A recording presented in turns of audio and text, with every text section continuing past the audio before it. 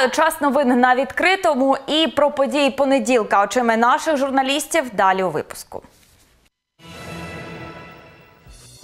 Бізнес занепаде, але трохи пізніше. Так кажуть підприємці про відстрочку касових апаратів. Від дерев'яної понтонної переправи до головної транспортної артерії міста цьогоріч центральний міст Дніпра святкує 54-й день народження. Квіти з Голландії проти наркореклами у Дніпрі пройде квітковий ярмарок. Усі кошти підуть на очищення місцевих фасадів від реклами наркотиків. Дніпровські черлідери серед найкращих у Запоріжжі на Кубку України наші спортсмени вибороли золоті і срібні медалі в чотирьох номінаціях.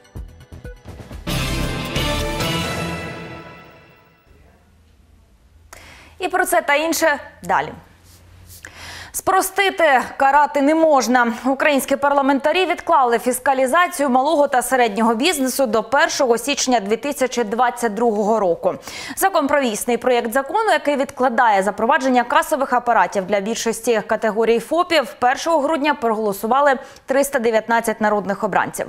Зробили це під тиском численних протестів. Підприємці понад місяць мітингували в центрі столиці. Однак великих надій на цю відстрочку не покладають. Кажуть, рано чи пізно ця новація знищить їхній бізнес, якщо влада не розпочне діалог. Э, По моим подсчетам, где-то от 50 до 100 тысяч частных предпринимателей сегодня съехало в Киев побороться за свої права. За останні півтора місяці це була одна з найчисленніших акцій українських фопівців. Протести не вщухали протягом року, але піку досягли місяць тому, коли в урядовому кварталі підприємці блокували рух практично кожні п'ять днів.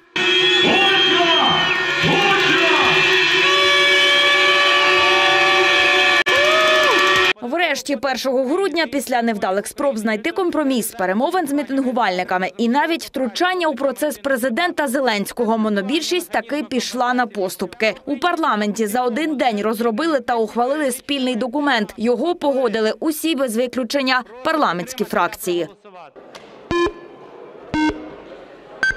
За 319 рішення прийнято. Закон прийнятий в цілому. З чим вас і вітаю, шановні колеги. В опублікованому законі номер 4439-д входить перенесення фіскалізації до 1 січня 2022 року, скасування кешбеку для скаржників на ФОП, прив'язування всіх лімітів фіскалізації до мінімальної заробітної плати, зміна переліку ризикових груп ФОП, скасування великої кількості штрафів. Проте самі підприємці до таких реверансів ставляться скептично і вважають паузу подачкою від можновладців. Дніпрянин Олег Манаєнков, підприємець з 20-річним стажем, каже, встановлення касових апаратів навіть з відстрочкою аж ніяк не виведе ринок з тіні, як того хочуть Никогда никакая фискализация не приводила к э, осветлению рынка, так скажем, да, она просто всегда приводила к тому, что часть предпринимателей всегда уходили э, фактически в черный рынок. Они просто уничтожали свои свидетельства э, підприємців і шли просто работать в черну. Прагнення представників української влади до світової практики обліку доходів має подвійне дно. Певні підприємці до фіскалізації, говорить підприємиця Олена Лучко, підійшли формально, попіклувалися про каральні методи, проте роз'яснити забули, чим і спровокували хвилю обурення. нужно выстроить разумную систему Приобретения товара, то есть дать возможность людям работать в белую и работать легально, и не бояться, что их придут, начнут кошмарить, описывать товар, Эти законы 128-129, они уничтожают именно э, мелкие, мелкое и среднее предпринимательство. Да? То есть это даже, это даже нельзя называть бизнесом, это именно самозанятость. Свою чергу економісти пояснюють, влада дарма взялася саме за середніх та дрібних підприємців, адже тінь на українську економіку падає саме від великого бізнесу, доходи від якого виводяться в офшори. Тому і фіскалізація не працюватиме однаково для всіх. Чому це не працює?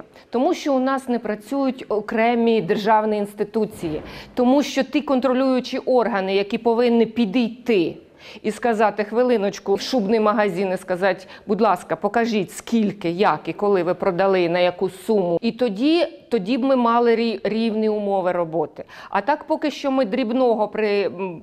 подальші принижуємо, пригнічуємо, відбираємо роботу, а великі залишаються, бо вони знають, що у них не буде відворотності, у цього немає покарання. Проте експерти все ж мають оптимістичні прогнози. кажуть, сподіваються, відстрочка з запровадженням касових апаратів для ФОПів змусить урядовців передивитися і підхід, і сам закон взагалі. На це є трохи більше року. Але більшість мітингарів підприємців переконані, головна битва за свої права ще попереду. Руслана Козиряцька, Олександр Вернигоров та Сергій Язовських. Open News, телеканал відкритий.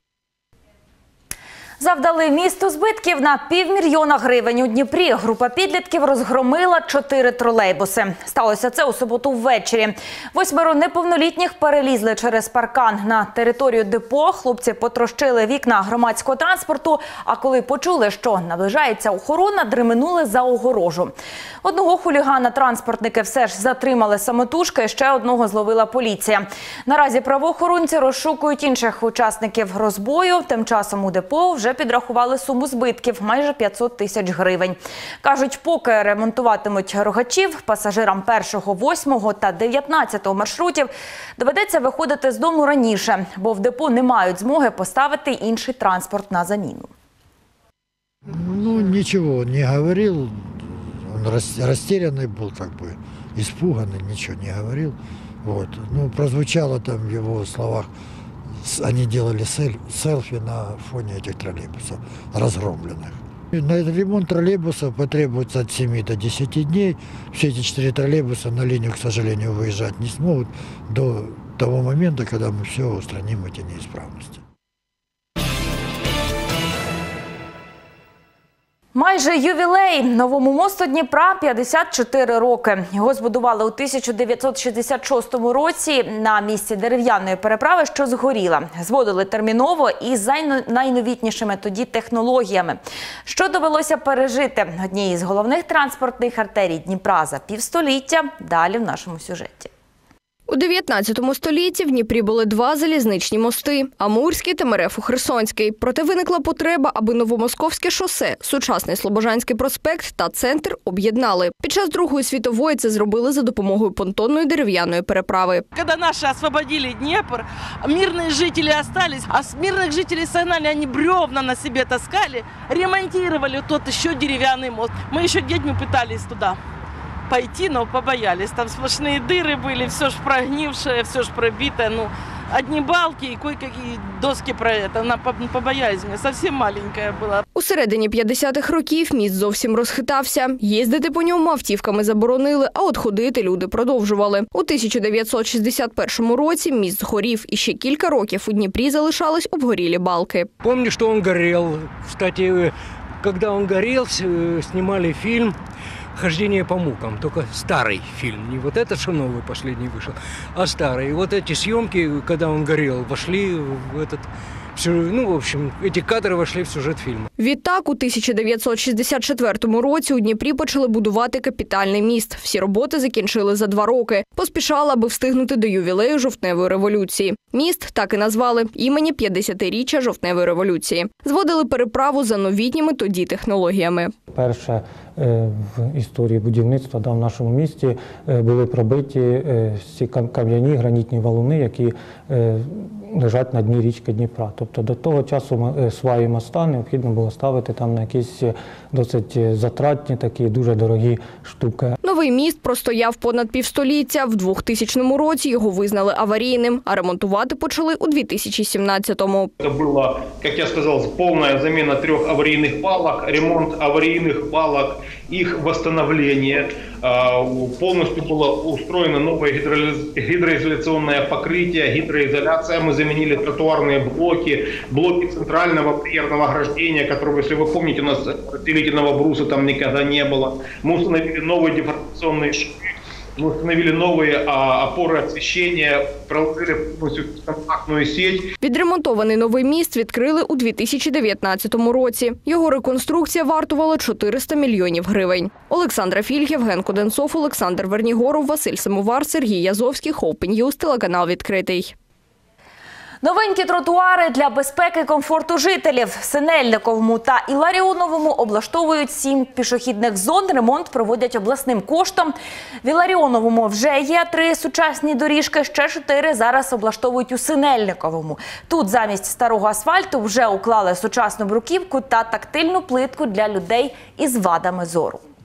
Вже влаштовано десь пів кілометра е, гарних тротуарів тут, у Синельниковому, і тут ще в декількох місцях ми будуємо тротуари обласним коштом. Валеріоново теж е, пів кілометра вже зроблено е, тротуарів, і, і в інших населених пунктів ми робимо покриваючу область безпечними, комфортними європейськими тротуарами для пішоходів. Тротуар широкий, красивый, э, освещение. Если учесть то, что 50 лет было назад, тут вообще пустырник, тут грязь, тут э, волки выли, то сейчас же ж таки намного лучше, значит, таки ж красивее стает. Нові технології на службі людей у Кам'янському до міжнародного дня людей з інвалідністю влада подарувала новий планшет місцевій організації Українського товариства глухих. Наразі на обліку в організації понад 250 людей. Одна з проблем е, одна з проблем людей з вадами слуху зв'язок між собою та навколишнім світом. Тепер же сподіваються, спілкуватися буде набагато простіше. данная связь, данная опция, вот, она здорово помогает в работе и решении каких-то вопросов, которые возникают у людей, находятся в другом населенном пункте, у них возник вопрос или социальный, или бытовой, или личный вопрос, там, ну, мало ли что бывает у человека. Вот. И э, эта связь помогает с помощью переводчика или напрямую решить вопрос тот, который возник. Хочу сказати, що в Кам'янському є подолання безбар'єрного середовища. Ми, е, ми відчуваємо, що, що ми потрібні цьому місту, і ми дякуємо всім, хто допоміг нам вирішити цю проблему. Е, до Дня інвалідів.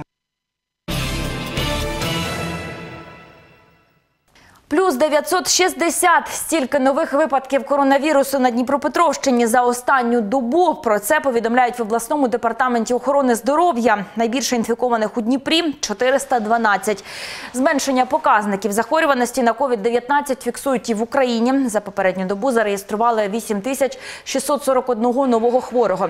За останні сім днів ушпиталили на півтори тисячі пацієнтів менше, ніж тижнем раніше, за даними МОЗ. Крім Дніпропетровщини, в антилідерах Київ та Одеська область.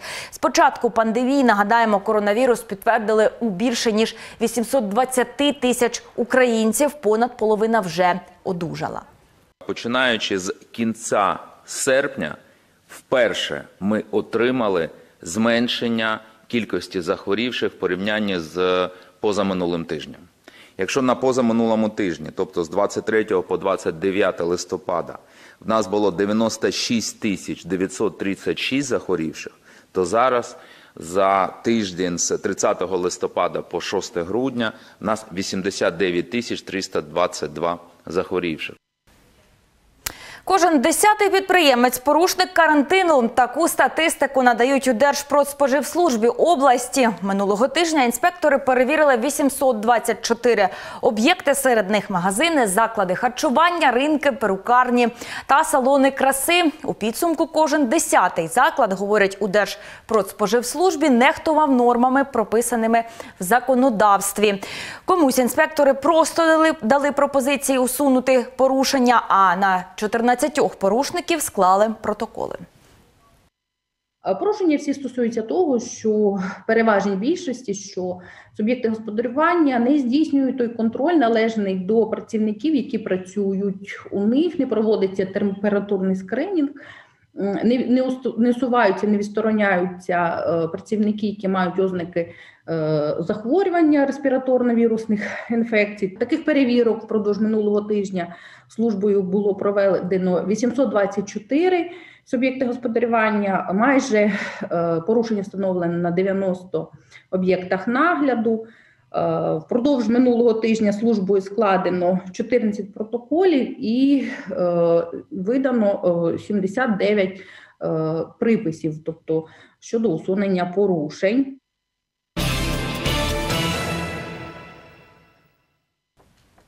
Полегшення правил наступного року випускників шкіл е, можуть звільнити від складання державної підсумкової атестації у формі ЗНО. Про це повідомили в Українському центрі оцінювання якості освіти. Там розробили декілька моделей оцінки знань учнів. Насамперед, учень сам обиратиме, як складатиме іспит. Письмово усно проходитиме онлайн-тестування або ж ЗНО. Для цього вони мають подати заявку до своєї школи. Однак, щоб така модель оцінювання знань школярів запрацювала наступного року, Верховна Рада має ухвалити відповідні зміни до законодавства. Усі послуги суто українською 16 січня 2021 року в кафе, крамницях, аптеках, банках та на АЗС клієнтів обслуговуватимуть тільки державною мовою. Говорити іншою мовою можна буде лише на прохання. Відвідувачів про це заявив мовний омбудсмен Тарас Кремінь. Експерти кажуть, не всім цей закон припав до душі, є й невдоволені як серед клієнтів, так і працівників сфери обслуговування. Однак ми маємо нарешті усвідомити цитую важливість такого кроку. Ми застрягли на місці, на відміну від Чехії, Польщі, адже в нас стартовий майданчик був кращий, ніж у них. Але вони пішли вперед, у них економіка краща, у них взагалі рівень життя кращий. А чому? А тому, що у них світоглядно більше спільності, ніж у нас у суспільстві. А тому, що вони розмовляють однією мовою, читають однакові книжки, вони мислять схоже, і їм простіше було піти вперед, ніж ми розмовляємо різними мовами, читаємо різні книжки, маємо різні світогляди. Понад 50 тисяч мешканців Дніпропетровщини протягом року жодного разу не сплатили за розподіл газу. Зараз сума заборгованості 35 мільйонів гривень. Ці кошти, кажуть у компанії, необхідні Дніпропетровськ газ для ремонту та заміни газового обладнання. Ці роботи треба виконувати постійно, адже вони запорука безпеки споживачів. Нині боржники отримують попередження, і після завершення карантину за чинним законодавством їх можуть відключити від системи газопостачання. Тариф на розподіл газу затверджує Національна комісія, що здійснює регулювання у сфері енергетики та комунальних послуг. З липня ціна на поставку газу для Дніпропетровськгаз 1 гривня 37 копійок за 1 кубометр блакитного палива. Складові тарифу входять, е, по-перше, розрахунок планових е, витрат на підтримку газорозподільних мереж в робочому стані, оновлення трубопроводів, газового обладнання. А по-друге, е, як я також вже казав, залежить від розміру мінімальної заробітної плати та від рівня інфляції, який змінюється протягом року. І по-третє, у закладена вартість технологічного газу, який необхідний, необхідний якраз для сталої роботи газорозподільної системи.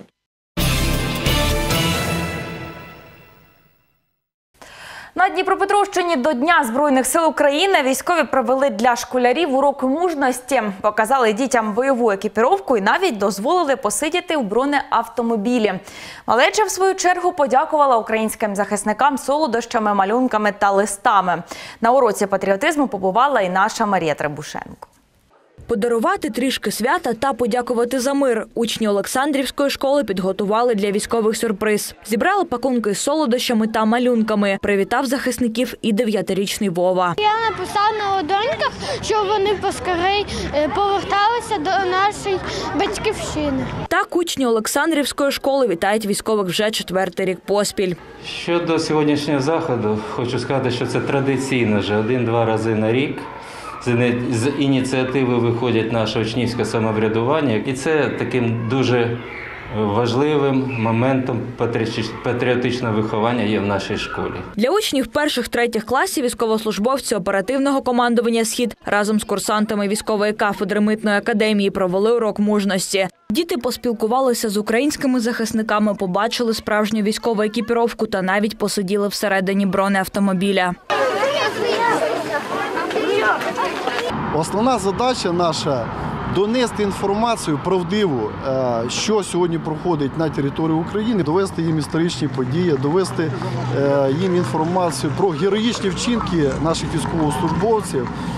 Ну і поцікавитись, все ж таки, яким життям вони живуть, яка у них думка. Вже традиційно до Дня Збройних сил України військові проводять уроки мужності для школярів по всій країні.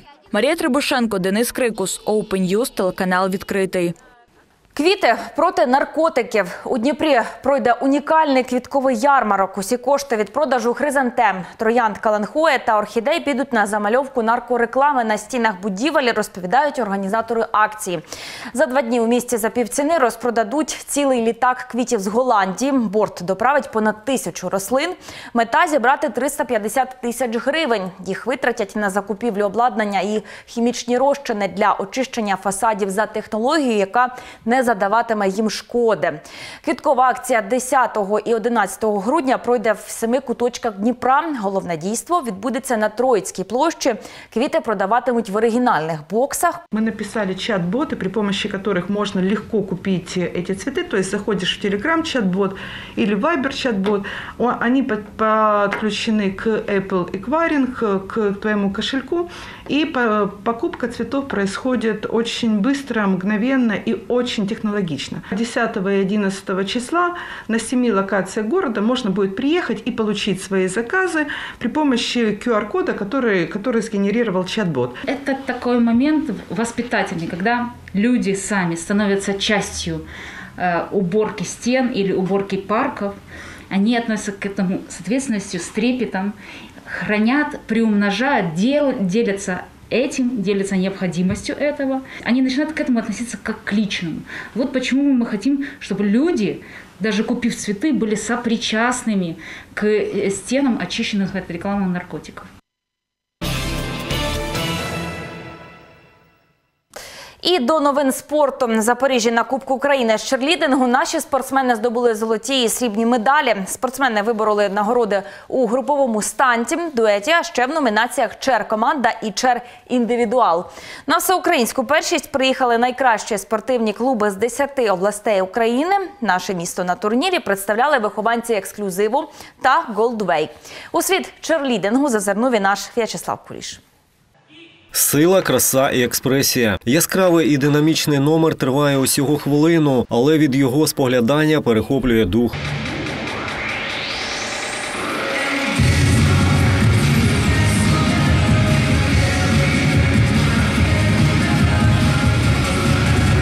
Цей виступ приніс дніпровським черлідерам срібло на всеукраїнських змаганнях в Запоріжжі. Нагороду четвірка спортсменів здобула в одному з видів черлідингу груповому станті. Выступление прошло на хорошей, спокойной ноте.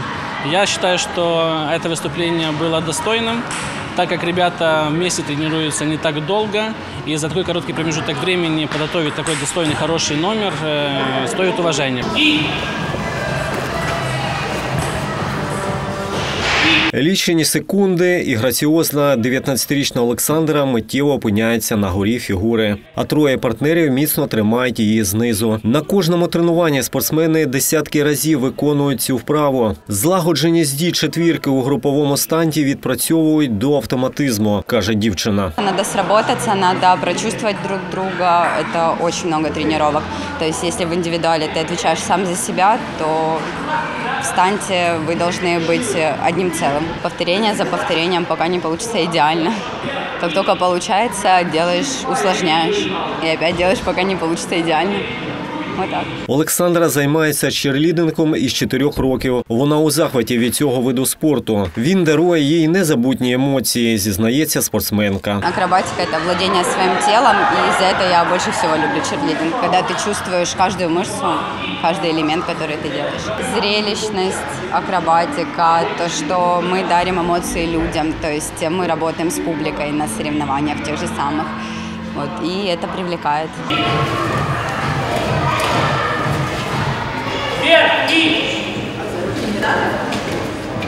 А ось так спортсмени створюють піраміду. У її побудові беруть участь 16 черлідерів, серед них і 20-річний Максим. Спортсмен розповідає, аби домогтися 100% командного взаєморозуміння, треба пройти тернистий шлях. С каждым спортсменом по-разному.